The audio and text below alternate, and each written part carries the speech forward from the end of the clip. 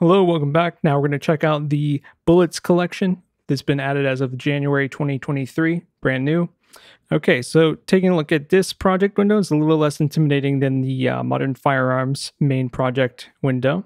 So what we have is essentially these three different bullet tracks. There's bullet large, medium, small, and then there's uh, corresponding shell drops for each of these different types of or sort of categories of weapons. So there's assault assault rifle, shell drops, and pistol, shotgun, sniper rifle, and so forth. All right, before we go any further, I'm going to mention this in both of the overview videos for for these uh, new ones. Um, you're going to need to upgrade the Enrage plugin to the latest version, which I believe is right around 3.10 or so. If you don't have that, if you don't do that, uh, these are not going to play back correctly and things are going to act a little bit strange. So let's go ahead and do this bullet large sub project.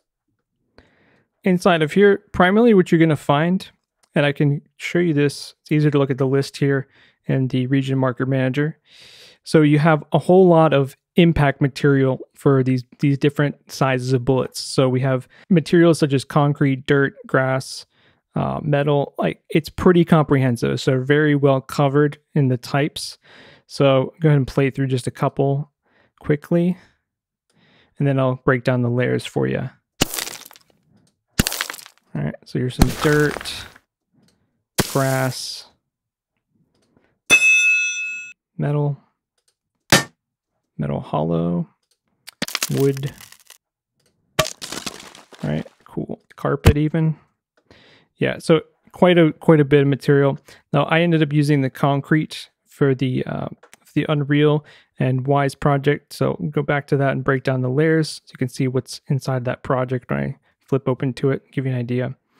So um, what I ended up doing is, again, I mentioned this in the other video, but I rendered out the tracks essentially as my well, actually, in this one, I think I did the, I just used the composites since there's a little bit less material and there's a little bit less that I wanted to actually randomize. But um, I ended up kind of using these concrete here pretty much as they were. So here's the body. And then here's the additional character, which is kind of like emphasis on the type of material. So here's more of that kind of dirt that you would expect in there. And then there's some additional layers down here. So you have a tail again, which might be something easy to decide to mute. If you just wanted something a little bit more low profile, you maybe would get rid of the tails on some of these. All right, so the other thing that is in here, it's kind of a primary feature. These, they have some miscellaneous sort of tracks. So that would include some ricochets. And then these bullet cracks.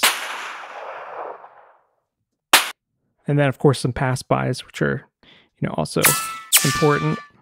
So you have quite a number of each, you know, between six or eight, looks like. Pretty dynamic stuff. But again, really well covered. All right, so let's check out some of the shell drops in the assault rifle sub project.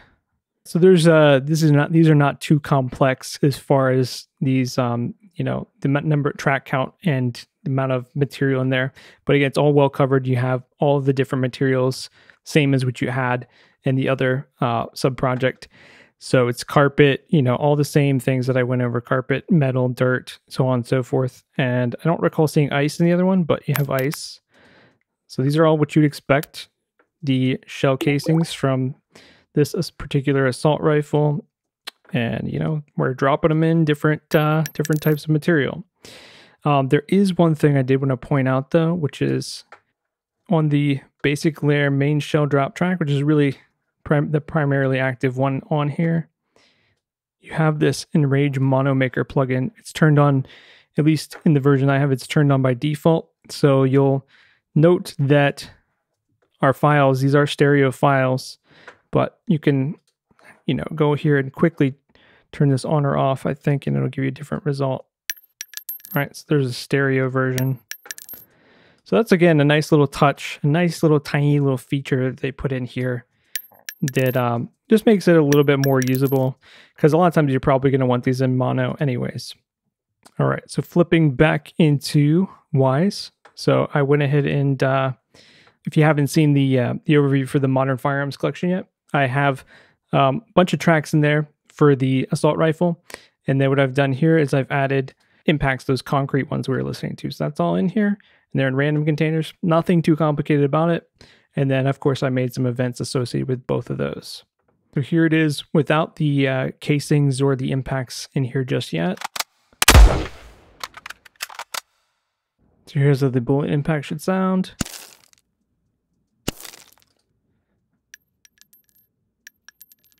And because I didn't really have the opportunity to set up like a full like real project, I ended up kind of faking this a little bit. So what I did was I just added to the end of the shot event that it'll post that bullet impact automatically. And then of course I, you know, I mixed it appropriately in things to make it seem like it's kind of where you would imagine the bullet hitting. Uh, but the timing is probably a little off. But any case, so there you can hear the dirt in there at the end. Turn the shot down just a little bit. So there, now you can hear that dirt. So I have it kind of set up like it's hitting that box a little bit. So the bullet casing, also something I took care of really quick right in here in this part of the animation. Probably not where I'd put it realistically, but serves the purpose in the context of everything else. Again, you want to take a look at the overview for the modern firearms as well and see the rest of uh, this content and what I did here with this uh, example project. Give you a little bit of more of an overview of some of the rest of the material, just a quick preview. Let's hear some of the medium pass-bys, some medium impacts. Uh, this is body, carpet. There's some shotgun shell casings, which are pretty cool